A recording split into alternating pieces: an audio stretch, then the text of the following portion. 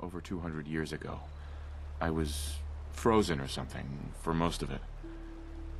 Just woke up a little while ago. Damn. Like one of those old pre-war ghouls. You say you were frozen. Anybody else make it out with you? My son. Somebody took him away while I was still trapped. I've been looking for him. Damn. I'm sorry. I hope you find him.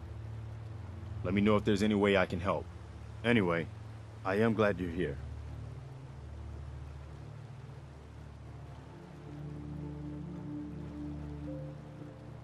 And I hope you don't mind, but I've got another favor to ask. I've had word from a settlement asking for help.